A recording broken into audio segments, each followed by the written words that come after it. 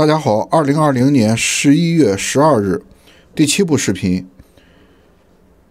拜登与菅义伟通了电话，在电话中，菅义伟祝贺拜登取得总统选举的成功，并明确认为拜登是下一届美国总统。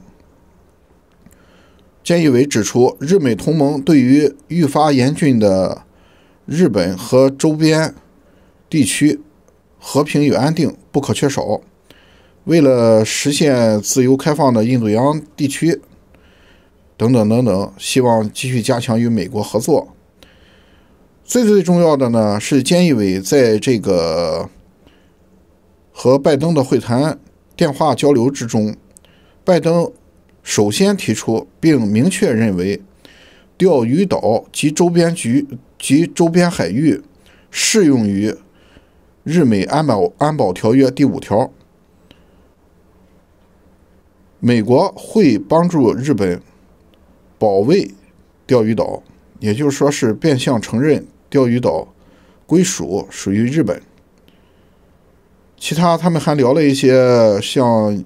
气候变化呀，国际合作呀，冠状病毒这个防治啊，等等等等，期望着双方能够在一月二十号拜登就任之后，菅义伟会尽早实现访美，与拜登进行面对面的会谈。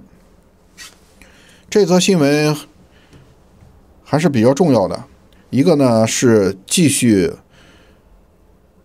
这个日本对。拜登当选美国总统、美国大选的这种形式的认可，再一个呢，就是菅义伟从拜登那得到明确消息，拜登认可钓鱼岛归属于日本，并且美国愿意协防日本钓鱼岛。我们不说这个钓鱼岛乃至这个冲绳群岛到底这个归属问题，这个由国际法理来进行认可。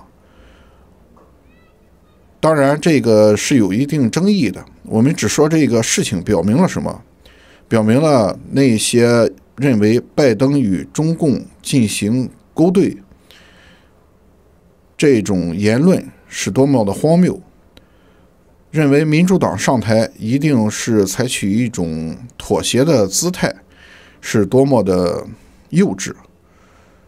拜登这次通话很明确，比川普对中国还要强硬。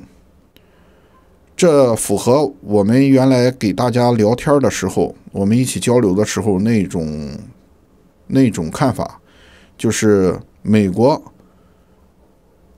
无论是从民间到政府，无论是共和党还是民主党，已经转向，都采取对中共的一种打压、限制、厌恶的这么一种姿态和态度。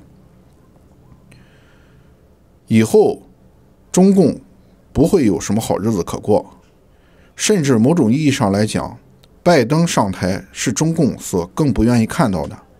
因为拜登是一名老政客，他能更加团结全球各政府的力量来限制中共，而川普呢，更像一个毛头小伙，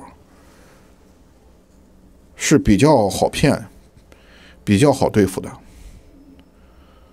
好了，拜拜。